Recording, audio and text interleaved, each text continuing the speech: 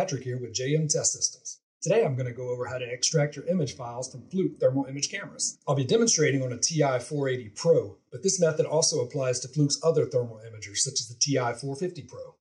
Okay, before I show you how to extract these image files, you'll need to download Fluke's SmartView software from fluke.com. I'll add a link in the video description. So first you'll need to remove the micro SD card from the memory card slot. Insert it in the micro SD card adapter.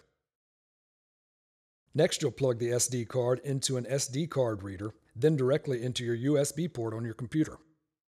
Once this is plugged into your computer, you'll want to open the file that comes up in your USB drive.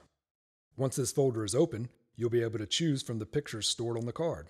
If SmartView is downloaded and installed correctly, the program will open and the image you choose will be displayed. You can open more than one file at a time by simply holding the Shift key and selecting the files you wish to open. From here, you'll be able to edit and email your images. Thanks for watching and be sure to subscribe to our channel for more content like this.